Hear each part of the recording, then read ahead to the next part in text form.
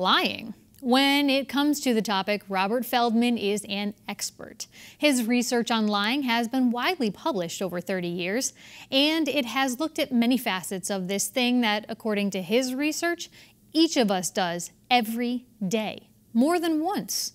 But are people lying more today than in the past? Here's what he thinks. Yes, I'm really interested in how people use lying as a kind of social tactic and how it colors what we do in our everyday lives. It turns out that people lie all the time, not just presidents, but um, other people as well. Um, we use it as a kind of social tactic to smooth out social situations, to make other people feel good about themselves, and in some cases, to make ourselves look better. You mentioned the president. We often think, I think, globally as a society uh, of, of, politicians will finger them first as people who, who lie most often, whether, you know, it's Bill Clinton, I did not have sexual relations with that woman, or even more recently with President Trump saying would, wouldn't. Some people looked at that as a lie, not just a, a misspeaking. Um, do politicians lie more today than you think in your previous research? Well, in some cases, clearly. But I think generally, the amount of deception that goes on is increasing because it appears we have given politicians greater license to lie. It doesn't seem to Meaning bother. the public isn't holding them accountable more often. Exactly. Um, we seem to let po uh, politicians get away with lying. It doesn't seem to bring about the kinds of sanctions that it once would have. And it's just sort of generally in the culture, it just appears to be easier to lie. So, I mean, I know when you started your research, you were researching a book about a decade ago and you looked at the Nixon tapes, you listened to them. So, when you say that, do you, do you think Nixon was held accountable in a different way than maybe politicians today are? I do actually. Um, I, I, think the, um, the reaction to his being deceptive was much greater than what we'd find today. And it's not like we say it's fine for politicians to lie, but I just think that generally speaking, it's easier for a politician to get away with lying than it was in the past. Do you think that's technology in the news cycle where it's just moving so quickly? That's, that's part of it. I think um, for me, a turning point was the Clinton episode, which you bring up.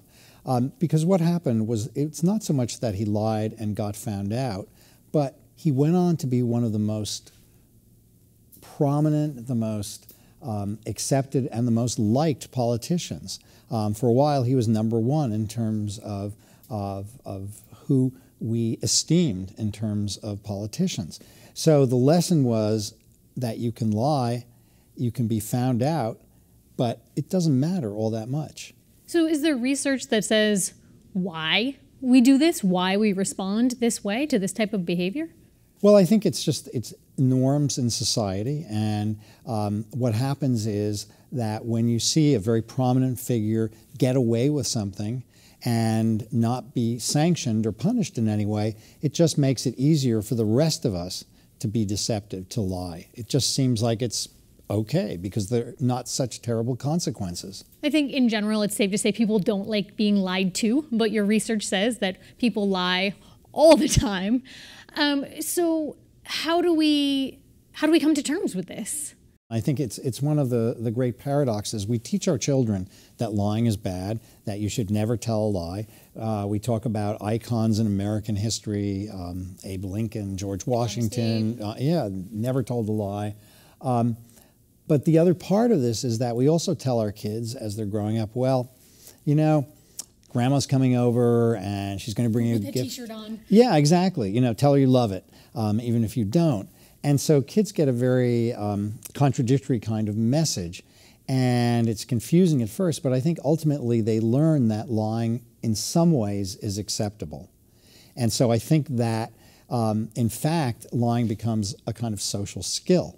You want your kids to be able to lie in the right circumstances. But the white lie you just point out, you know, grandma gets you a t-shirt and you wear it proudly and then strip it off as soon as she leaves. Um, that I think we can agree is a different type of lying than doing something that's going to cause some type of larger harm. Oh, absolutely. There, there, are different gradations of kinds of lies. There are white lies that society does say are acceptable and that, in fact, we are happy to hear those lies. You know, when someone tells us, "Oh, you did a fantastic job," we don't delve into that, and it may be truthful, it may not be truthful, but we're ready to accept it. Um, but there are other kinds of lies that are much more harmful. Um, when someone lies to um, uh, give themselves an advantage over you um, or to mislead you in some way, I think most of us would say that is, that is totally inappropriate. So, what advice would you give to people to be more truthful in their everyday interactions? Well, it's tough. It's tough to give advice because, in some ways, you want people to understand that white lies are appropriate and, and okay. Um, but you really do want them to know that lies ultimately have a cost. And in fact, that lying um, is one of those things that in a relationship can have really detrimental effects because you want to be able to trust people, you want to be honest, and you want to be open. And even small lies, I think, have some kind of cost. So I think you want to discourage people generally from lying.